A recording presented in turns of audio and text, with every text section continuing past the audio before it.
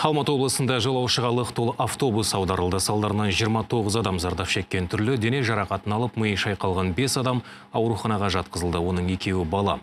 Құқық қорғау органдары апаттың нақты себебін анықтап жатыр.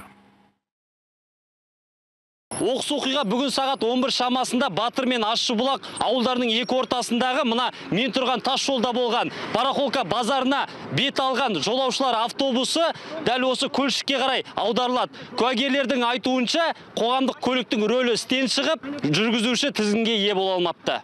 63 жастағы Ардақ Құсманова аударылған автобустағы жолаушылардың бірі. Иығы сынған ол жүргізушінің көмегімен автобустан әрең шықтым дейді.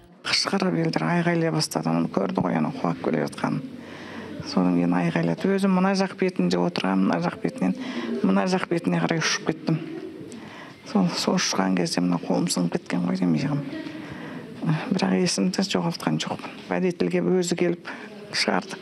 Қолымнан тартып.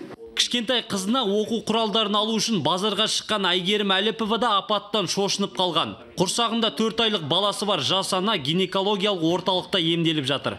Сырғып кеттік сырғып барып құладық. Адамдар мыжыған соң уже шошып мен. Қандай салмақ өзіме түсіп жатқанын сезген жоқпын.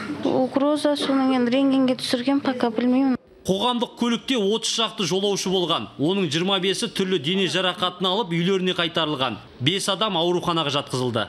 Үш жарақат алған адам біздің аудандық ауруханаға жатқызылды.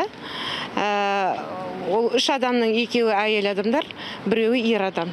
Мәлімет бойынша 10 бала жеткізілген біздегі 5 бала тағы да 5 бала. Қазіргі мәлімет бойынша екеуі жатқызылған сегізі үйіне қайтарылған. Апатқа қатысты қылмыстық іс қозғалып нақты себебі анықталып жатыр. Жолаушылар ащыбұлақ батыр тас жолында көлік апаты жиі болатынын айтады. Ұзақ жылдар бойы жөндеу көрмеген тар жолға көліктер әрең сияды екен. Апаттан зардап шеккендер қоғамдық көлікке отырудан қорқып қалған. Осы оқиғадан кейін жергілікті билік жолды жөндейді деген үміттері бар.